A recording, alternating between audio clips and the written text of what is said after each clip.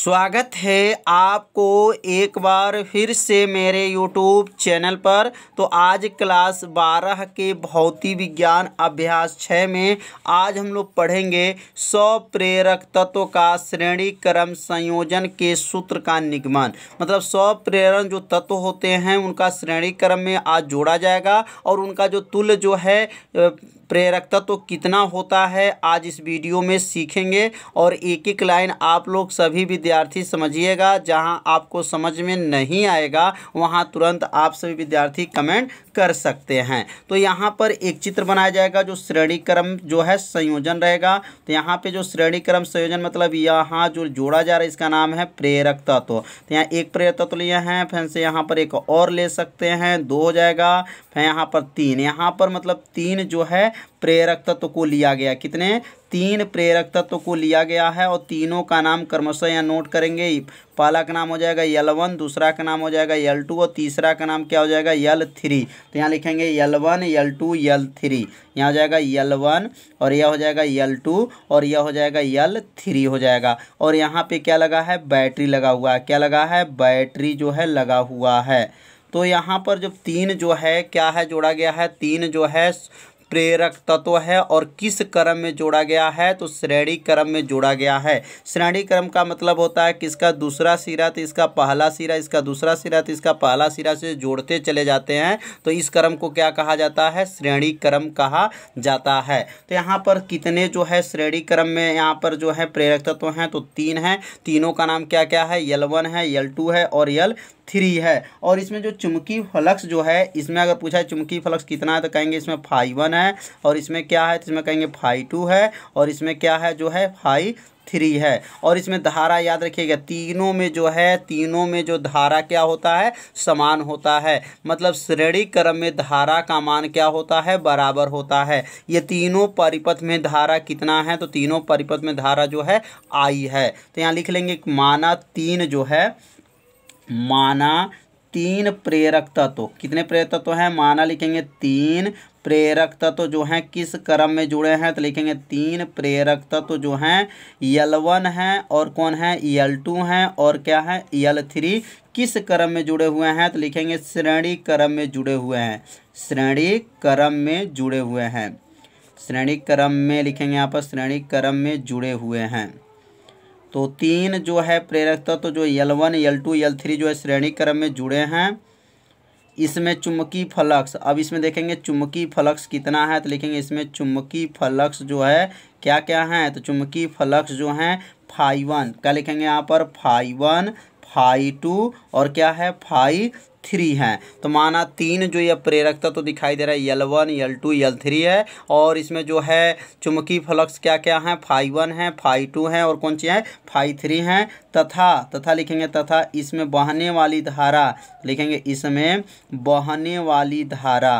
तो इसमें बहने वाली धारा क्या है? तो लिखेंगे इसमें बहने वाली जो धारा है वह आई है। बहने वाली धारा क्या है?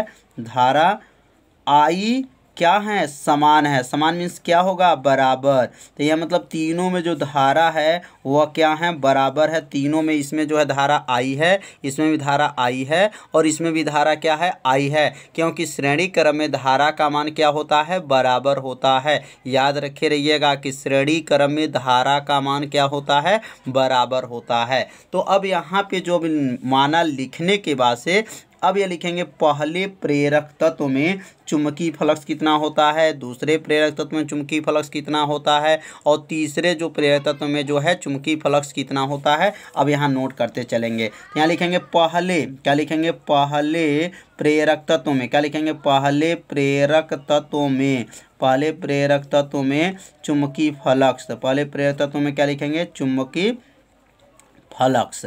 तो पहले परे में चुंबकीय फ्लक्स कितना होता है? तो चुंबकीय फ्लक्स का सूत्र क्या होता है? तो चुंबकीय फ्लक्स का जो सूत्र जो है पिछले वीडियो में बताया गया था कि ग्रंथिताओं की संख्या के अंतर्गत बताया जाएगा। तो क्या होता है? फाई बराबर होता है, क्या होता है? यल आई होता है। क्या हो जाएगा? फाई चुंबकीय फ्लक्स और फाई क्या होता है? यल आई होता है। अगर यहाँ फाई वन कर देंगे, फाई वन वन होगा तो यहाँ क्या बनेगा? यल वन हो जाएगा। आई वन नहीं करेंगे क्योंकि आई क्या है? समान है। तीनों में धारा का मान मान क्या है? बराबर है तो इसलिए I one I two I three नहीं किया जाएगा। तो पहले प्रेरित्व में चुमकी फलस कितना गया? फाइव वन में यल वन आई अब इसी तरह यहाँ लिखेंगे दूसरे प्रेरक तत्व में। अब यहाँ लिख लेंगे दूसरे प्रेरक तत्व में चुंबकीय फ्लक्स तो दूसरे प्रेरक तत्व में चुंबकीय फ्लक्स तो इसमें कितना हो जाएगा? तो इसमें लिखेंगे चुंबकीय फ्लक्स। इसको किससे दिखाएँगे? तो इसको फाई टू से दिखाएँगे। तो चुंबकीय फ्लक्स हो जाएगा। और यहाँ फाई वन जो था तो क्या बन जाएगा? अब फाई टू। और फाई टू बराबर क्या बनेगा? तो यह बनेगा ई एल टू आई बन जाएगा। तो ये चुंबकीय फ्लक्स फाई वन पहले के लिए हो गया। और ये किसके लिए हो गया? दूसरे के लिए हो गया। अब दूसरे के बाद से फिर लिखेंगे यहाँ पर तीसरे। क्या लिखेंगे? तीसरे प्रेरक तत्व, तीसरे प्रेरक तत्व में, तीसरे प्रेरक तत्व में चुंबकीय है तो अब तीसरे प्रेरक तत्व में चुम्बकी फलक्स किससे दिखाएँगे यहाँ पर? तो लिखेंगे चुम्बकी फलक्स लिखने के बाद से फाइव थ्री क्या लिखेंगे? फाई थ्री हो जाएगा और फाई थ्री का सूत्र क्या बन जाएगा? यल थ्री आई हो जाएगा। तो समझ में आ रहा होगा, पहले तत्व में चुंबकीय फ्लक्स क्या बना? Phi one L five one बराबर L one I five two बराबर यल टू आई और फाइव थ्री बराबर क्या हो जाएगा? यल थ्री आई हो जाएगा। अब यहाँ पे लिखेंगे कुल चुंबकीय फ्लक्स। क्या लिख लेंगे?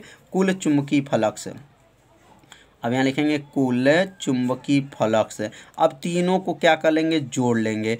कुल का मतलब होता है इसमें मतलब तीनों को क्या करेंगे, जोड़ लेंगे। अगर चाहे आप एक और भी जोड़ना चाहते हैं तो यहाँ एक और भी जोड़ सकते हैं तो वहाँ पे आपका लिखना पड़ेगा तब? चौथे प्रेरक तत्व के लिए, पाँचवें प्रेरक तत्व के लिए, छठवें प्रेरक तत्व के लिए जितना चाहे यहाँ पर आप जोड़ते चले जा सकते हैं। लेकिन यहाँ पे कितने परिपथ जोड़ा गया है? तीन जोड़ा गया है। तो यहाँ लिख लेंगे कुल चुम्बकीय फ्लक्स। किससे दिखाएँगे? कुल चुम्बकीय फ्लक्स को फाई से दिखाएँगे। किससे दिखाएँगे?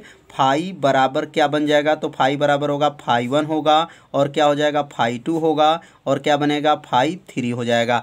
कुल का मतलब क्या होता है? तीनों को क्या कर लेंगे? जोड़ लेंगे। अब ये तीनों का मान इसमें रख लिया जाएगा तो फाई बराबर, फाई वन का मान कितना है? तो फाई वन का मान है एल वन आई है।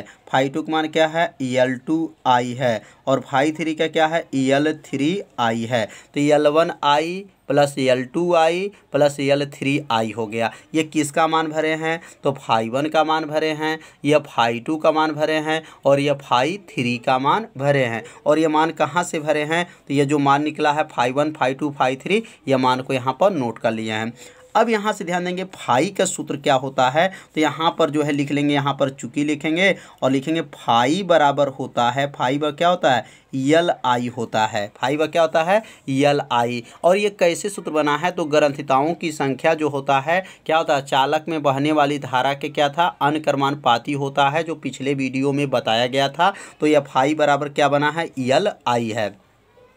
अब फाई को अब हटा देंगे तो फाई अगर हट जाएगा, फाई की जगह पे हम लोग क्या लिख सकते हैं? यहाँ लिख सकते हैं यल आई बराबर। इसमें से कामन क्या ले सकते हैं? इसमें से आई कामन ले लेंगे तो क्या बनेगा? L one plus L two, plus क्या होगा? एल थ्री हो जाएगा। तो इसमें से तीनों में ध्यान दीजिए, कामन क्या लिए हैं? आई जो है, कामन लिया गया है। अब यहाँ पर आई से आई को चाहे आप काट देंगे, आई से आई को काट दीजिए। तो कटने के बाद से बचेगा क्या? तो बचेगा एल बराबर बचेगा L one plus L two plus L three. तो यल बराबर क्या हो गया? L one plus L two plus क्या हो गया? यल थ्री हो गया। यह किन का सूत्र आ गया? तो यह श्रेणी क्रम में जो है श्रेणी क्रम में जो है प्रेरक तत्व का सूत्र आ गया। तो समझ में आ गया होगा कि यह सूत्र कैसे निगमन किया गया है। बहुत आसान विधि से बताया गया है, जिसे आपको अच्छे से समझ में आ जाए। तो यहाँ पर इसका रिज़ल्ट क्या आएगा? तो लिखेंगे कि श्रेणी क्रम में तुल्य जो है, प्रेरक तत्व जो है अलग अलग प्रेरक तत्वों के योगफल के क्या है? बराबर। तो अब यहाँ पे लिख लेंगे अर्थात और अर्थात लिखने के बाद से लिखेंगे यहाँ पे कामा अब यहाँ पे क्या रिज़ल्ट आया? अब इसके बारे में नोट कर लेंगे कि श्रेणी क्रम में, किस क्रम में? श्रेणी क्रम में श्रेणी क्रम में तुल्य श्रेणी क्रम में तुल्य क्या है? प्रेरक तत्व। तुल्य प्रेरक तत्व तत्व उसके अलग अलग, उसके अलग अलग, उसके अलग अलग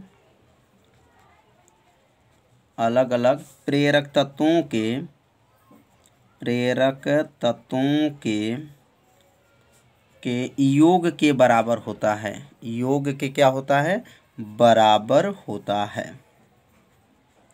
बराबर होता है। तो समझ में आ गया होगा यह कैसे लिखे हैं। तो यहाँ से नोट किया गया है कि जो श्रेणी क्रम में जो तुल्य जो है प्रेरक तत्व तो उसके अलग अलग जो है प्रेरक तत्वों के योग के क्या योग मैंने क्या होता है? जोड़ होता है, जोड़ के बराबर होता है। तो आज का पढ़ाई क्या हुआ है? तो सौ प्रेरक तत्वों का जो है श्रेणी क्रम संयोजन आज जो बताया गया है तो आज का पढ़ाई कैसा था, आप सभी विद्यार्थी ज़रूर कमेंट कीजिएगा, वीडियो को लाइक कीजिएगा, चैनल पर यदि आप पहली बार आए होंगे तो चैनल को सब्सक्राइब और घंटी दबाना मत भूलिएगा, क्योंकि यह लाइव क्लास आपके लिए ही चलाया जा रहा है। तो अब हम लोग, अगला जो हम लोग भाग पढ़ेंगे, सौ प्रेरण तत्व का जो है, समांतर क्रम संयोजन का तुल जो है, निगमन किया जाएगा, सूत्र का निगमन करके बताया जाएगा। तो कल का वीडियो जो है, आप सभी विद्यार्थी ज़रूर देखिएगा। रहेगा तो आज का पढ़ाई जो है, इतना ही रहेगा। मिलते हैं अब अगले भाग में। तब तक के लिए सभी विद्यार्थियों को नमस्कार।